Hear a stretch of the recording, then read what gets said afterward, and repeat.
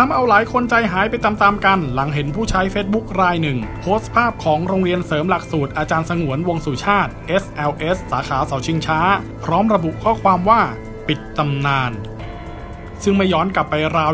20-40 ปีก่อน ที่นี่ถือว่ามีชื่อเสียงอย่างมาก ในเรื่องของการกวดวิชาภาษาอังกฤษ เพื่อเตรียมสอบเข้ามหาวิทยาลัย หรือสอบทักษะภาษาโทอีกโทเอลจะถือเป็นอีกหนึ่งตำนานโรงเรียนกวดวิชาก็ว่าได้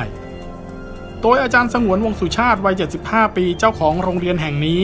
จบมัธยมปลายที่โรงเรียนวัดบพิพิมุก จบปริญญาตรีคณะรัฐศาสตร์ แผนกการต่างประเทศและการทูต จุฬาลงกรณ์มหาวิทยาลัย อาจารย์สงวนมีบิดาประกอบอาชีพช่างทำรองเท้า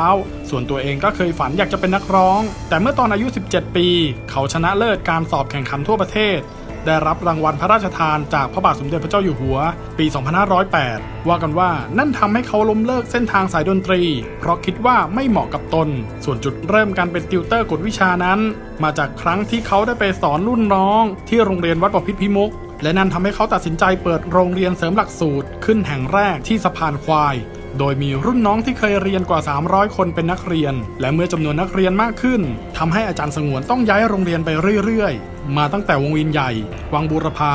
และจบที่ถนนมหรรณพใกล้เสาชิงช้าเป็นสาขาใหญ่ เขาสอนตั้งแต่ระดับอนุบาลยันด็อกเตอร์ โดยช่วงแรกเน้นสอนคอร์สเอนทรานซ์วิชาภาษาอังกฤษ ต่อมาได้เพิ่มคอร์สระดับสูง จนไปถึงผู้ที่จะไปเรียนต่อดุษฎีบัณฑิต อาจารย์สงวนยังเป็นติวเตอร์แรก ๆ ที่ใช้วิธีอัดวิดีโอการสอน และเปิดใช้สำหรับผู้ที่ไม่ได้เรียนในรอบสอนสด และยังนำภาพยนตร์ต่างประเทศมาใช้ประกอบการสอน จนดึงดูดให้เด็กๆ ชวนกันมาเรียนมากขึ้น จนเขาสามารถขยายสาขา ทั้งในกรุงเทพ เชียงใหม่ หาดใหญ่ พิษณุโลก และขอนแก่น นอกจากนี้อาจารย์สงวนยังทุ่มทุนซื้อคอมพิวเตอร์ ทั้ง IBM และ Apple Macintosh นับร้อยร้อยเครื่อง มาเปิดสอนเรียนคอมพิวเตอร์อีกด้วย พร้อมโปรโมชั่นเรียนภาษาอังกฤษ แถมสิทธิ์เรียนคอมเบื้องต้นฟรี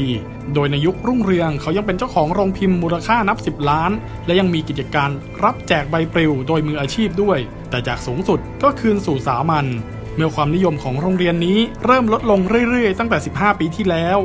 จนเงินไม่พอจ่ายพนักงาน และรุ่มรุ่มดอนดอนมาตลอด จนเหลือนักเรียนเพียง 3-5 คน จากเดิมเปิดสอนวันละ 3 รอบ รอบละราว 2,000 คน เขาเชื่อว่ากระแสเด็กรุ่นใหม่ไม่ชอบสไตล์การสอน ที่เน้นการเข้มข้นทางวิชาการ ประกอบกับมีตัวเลือกที่น่าสนใจ และยังเข้าถึงแหล่งความรู้ได้ง่าย จึงเป็นสาเหตุให้ความนิยมของ SLS ลดลง นั่นทำให้อาจารย์สงวนตัดสินใจปรับมาสอนออนไลน์ และปรับลดพนักงานจนเหลือเพียง 2-3 คน แต่กระนั้นก็ยังมีภาระอยู่เดือนละหลักแสน อีกทั้งหนี้สินอีกหลายล้านบาท ขณะที่ค่าคอร์สที่นี่เริ่มต้นที่ 5,000 บาท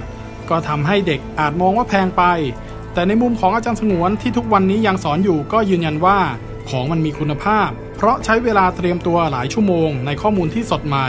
ซึ่งก็แลกกับการที่ต้องตรากตรำทำข้อมูลจนถึงตีสามตีสี่ในวัย 75 ปีที่สมควรแก่การพักผ่อน ทุกวันนี้อาจารย์สงวนขายทรัพย์สินเพื่อความอยู่รอด จนเหลือเพียงบ้านและอาคารสำนักงานใหญ่ บนถนนมหันนบที่เขายอมประกาศขายในราคา 80 ล้านบาท เพื่อหวังไปปลดหนี้และต่อยอดในอนาคต